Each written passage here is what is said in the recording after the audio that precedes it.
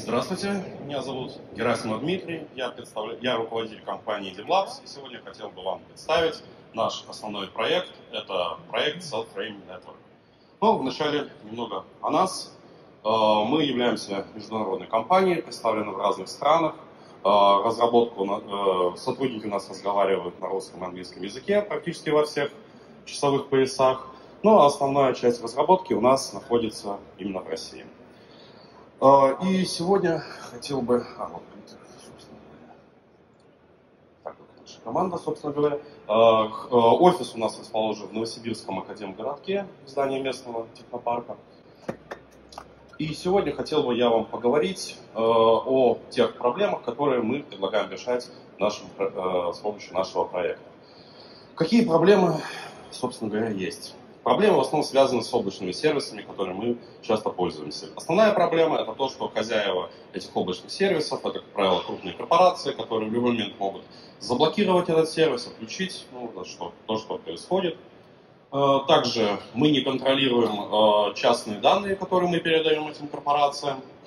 Э, квантовые компьютеры несут угрозу современной криптографии, на которой, в принципе, это все и построено как правило. Ну и если затрагивать те проблемы, которые уже связаны с блокчейн решениями, то это э, то, что существующие блокчейны, они также неустойчивы к квантовым угрозам и очень э, э, предъявляют высокие требования к железу. Ну, собственно говоря, из-за чего и возникает высокая стоимость транзакций.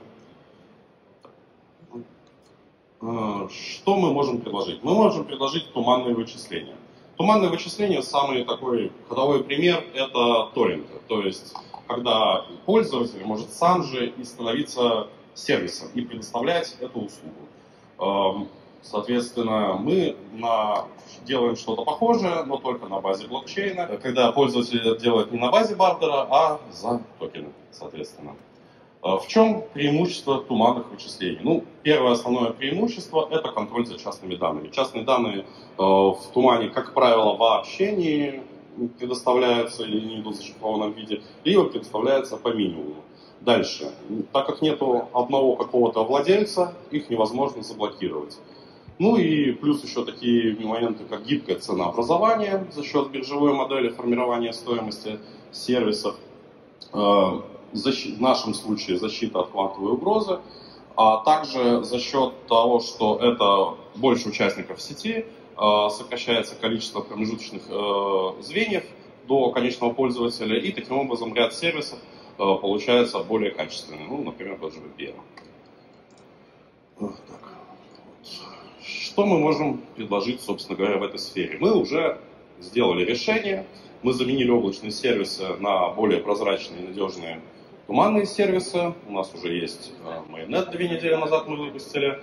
Сейчас у нас уже на подходе мост.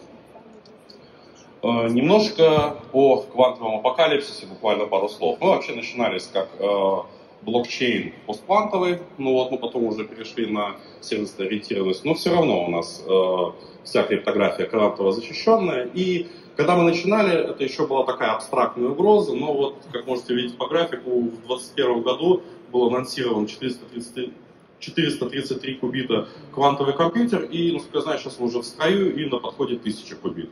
С учетом прогресса в э, коррекции ошибок, этого уже может хватить э, для взлома существующей криптографии вот в биткоине, в эфириуме. Насколько я слышал, уже даже где-то есть какие-то такие решения. Ну, это только слухи. В любом случае, появятся они достаточно скоро, как я считаю.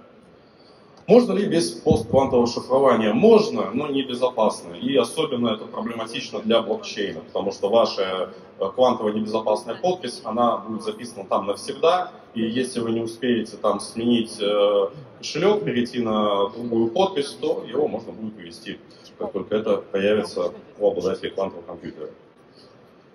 Что мы предлагаем в этой сфере? Вариативное постквантовое шифрование. Если вкратце, это когда в системе нет какого-то одного алгоритма, у нас сейчас есть там два, Crystal Deletium и Picnic, это кандидаты на новый стандарт, и можно также добавлять, обновлять, ну, не совсем на лету, но можно сказать, что и на лету. Э, что о наших туманных сервисах?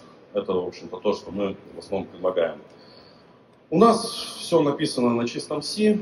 Это мы практически, по-моему, единственный блокчейн, который таким образом реализован. И за счет также многоуровневого шардинга у нас очень низкие требования к железу для валидаторов и даже просто для полной ноды. Ее можно запустить там на Raspberry Pi, на смартфоне старом, старом железе, и это, это хорошо. При этом для разработчиков достаточно простой выбор язык Python в стандартном окружении, что снижает порог входа. Таким образом, мы как бы готовы э, предоставить э, платформу для разработчиков, чтобы они могли создавать э, нескромно конкурентов YouTube, конкурентов э, Facebook, э, Dropbox, ну и прочим облачным сервисам. Спасибо, наше время вышло. Жюри, есть ли у вас вопросы? Спасибо, очень хороший доклад. Э, Дмитрий, э, у меня вопрос. Вы а, я здесь впереди сижу, в первом ряду, да. А, вы говорили о том, что вы там, делаете шардинг, но вот вы пытаетесь сделать еще один блокчейн первого уровня. Вопрос. Тот же тон сейчас, я глубоко копался, он позволяет делать динамический шардинг. И то есть тон обладает низкими энергозатратами, динамический шардинг, но то есть как вы будете конкурировать там, с Тоном, с Соланой? То есть вы просто даже пишете, что монополия существующих сетей, но их сейчас уже как минимум, если мы берем там Layer 1, то это, например, там 7-8 таких мейнстримных, если мы берем Layer 2, то это примерно 5-6 мейнстримных, если мы берем дальнейшие разработки, то это Layer 0, ну, то есть вам не кажется, что вы профессиональной своей командой могли бы просто вот э, что-то улучшить существующее, но не пытаться велосипед делать? Очень хороший вопрос. Э, мы часто, кстати, говорим, что мы не стараемся, мы не хотим конкурировать с другими блокчейнами, э, потому что у них немножко разные цели. Конкретно про Тон могу сказать, что основная разница с ним две, это то, что у него классическая криптография, не постквантовая, и добавлять туда новые подписи ну, может быть, не сильно легко. А второе, у нас сервисно-ориентированная платформа, а, и мы ориентированы на предоставление сервисов на всех уровнях, и на низком в том числе. То есть, ну, грубо говоря, на базе тона VPN сделать будет нетривиально, а у нас он, например, уже есть. И, кстати, про тон, а, у нас а, есть своя реализация тон консенсуса на одном из сабчейнов, и, так, и конкретно архитектура тон мы от нее немножко позаимствовали даже. Что касается Polkadot, Solana и прочих, у них немножко тоже другие цели, то есть если Polkadot взять, у них основная цель интерчейн взаимодействия, у нас тоже, конечно, такая цель есть, но основная она все-таки именно построение туманных сервисов. Насколько я видел, такую цель практически никто не заявлял. Кстати, Тон, о них и была такая наметка на то, что они тоже хотят делать децентрализованные сервисы, но это именно наметка, а мы пошли дальше. И, кстати, пошли мы раньше всех. То есть мы начали в конце 2017 года, разработка у нас заняла 5 лет. Ну, у нас не, не те бюджеты, конечно, что у Solana и Dot, но так как мы начали раньше, мы сумели подготовить несколько ну, таких уникальных решений. Так что, я думаю, место найдется всем. Но ведь туманные вычисления в 2017 году были уже предприняты командой Сон и Голем. И туманные вычисления, которые вот ребята писали в своем родмэпе, они показывают, что технология возможных таких э, решений может быть там, в течение 30-40 следующих лет прийти. Ну и плюс по поводу э, ваш поинт, по поводу постквантовой, постквантового шифрования, на самом деле сейчас при нынешних технологиях взломать SHA-256, алгоритм, на котором построен тот же самый э, биткоин, ну сейчас его прям, ну еще на десяткам лет. Ну, если был хотя бы один платеж в сети биткоина и был, и был возврат сдачи на тот же адрес, то взламывать надо не SH-256, а ECDCA 256, а, соответственно, или как он там. У нас сейчас будет очень долгая дискуссия, Роман. Потрясающий вопрос, но нет времени. Поэтому награждаю вас призом от нашего эксклюзивного спонсора. Квартир много не бывает, как вы знаете. Спасибо, спасибо большое.